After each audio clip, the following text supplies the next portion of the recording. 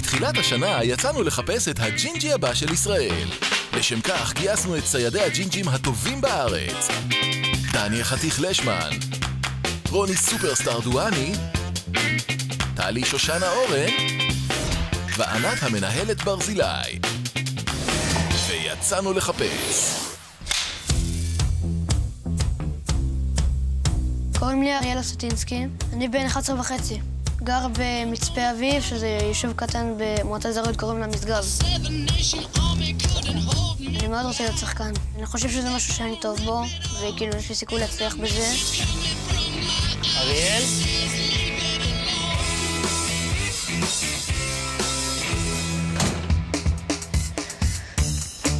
שלום. היי. יש לך איזה כישרון שאתה רוצה להראות לנו? תרגיש חופשי. אה, ריקוד, האמת. יאללה, מוכן? Right about now, Funk Soul Brother. Check it out now, the Funk Soul Brother. Right about now, the Funk Soul Brother. Check it out now, the Funk Soul Brother. Right about now, the Funk Soul Brother. אני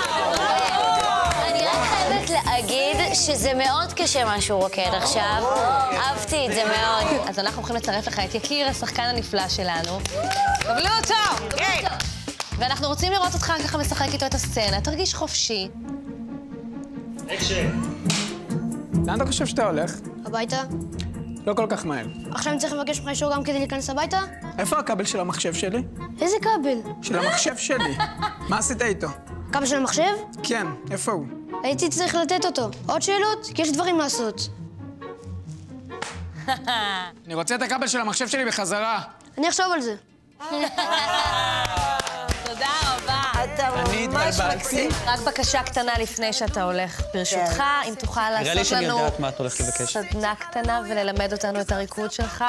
טיפה. בקטנה? יאללה, אני מוכנה. קדימה. וכופים את האצבעות ככה, ואז כאילו מעגמים ומגיעים למצב כזה, לא ככה.